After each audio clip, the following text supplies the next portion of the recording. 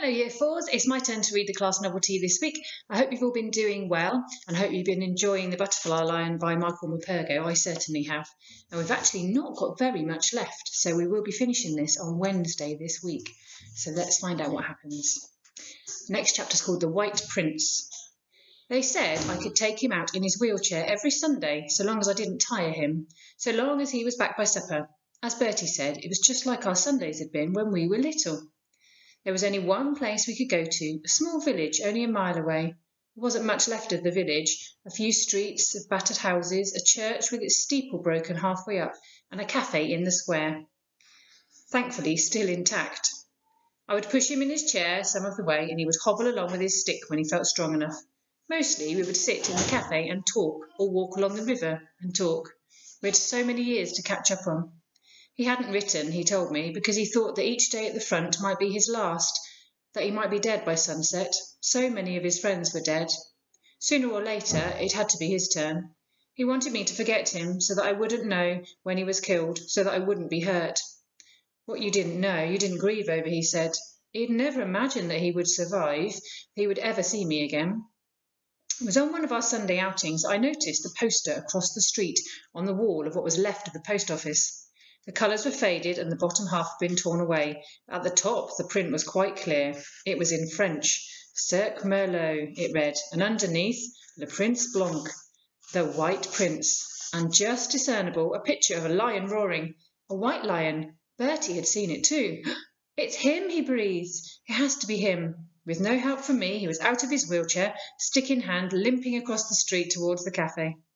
The cafe owner was wiping down the tables outside on the pavement. The circus, Bertie began, pointing back to the poster. He didn't speak much French, so he shouted it in English instead. You know, lions, elephants, clowns. The man looked at him blankly and shrugged. So Bertie started roaring like a lion and clawing the air. I could see alarmed faces in the window of the cafe, and the man was backing away, shaking his head. I ripped the poster off the wall and brought it over. My French was a little better than Bertie's. The cafe owner understood at once. Ah, he said, smiling with relief. Monsieur Merlot, le cirque, c'est triste, très triste. And he went back in broken English. The circus is finished. Sad, very sad. The soldiers, you understand, they want beer and wine and girls, maybe. They do not want the circuses. No one comes, and so Monsieur Merlot he have to close the circus. But what can he do with all the animals? He keep them, he feed them, but the shells come, more and more they come, and his house, how you say it? Tis bombarded? Many animals dead. But Monsieur Merlot, he stay. He keep only the elephants, the monkeys, and the lion, the white prince. Everyone loved the white prince. The army, they take all the hay for the horses. There's no food for the animals. So Monsieur Merlot, he take his gun. He have to shoot them. No more circus. Finished. Triste, très triste. All of them, cried Bertie. He shot all of them. No, said the man, not all. He keep the White Prince.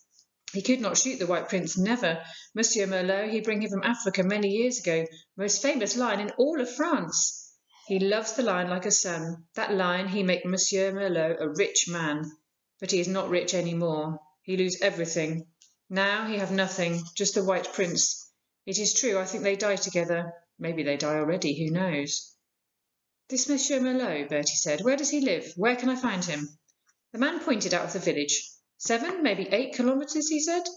It's an old house by the river, over the bridge and off to the left. Not far, but maybe Monsieur Lo he is not there no more.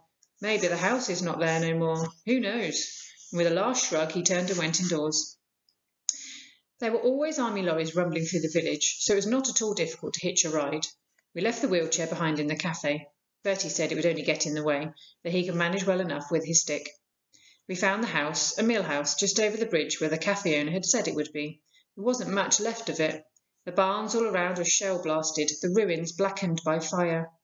Only the main house still had a roof, but it too had not gone unscathed. One corner of the building had been holed and was partially covered by canvas that flapped in the wind. There was no sign of life.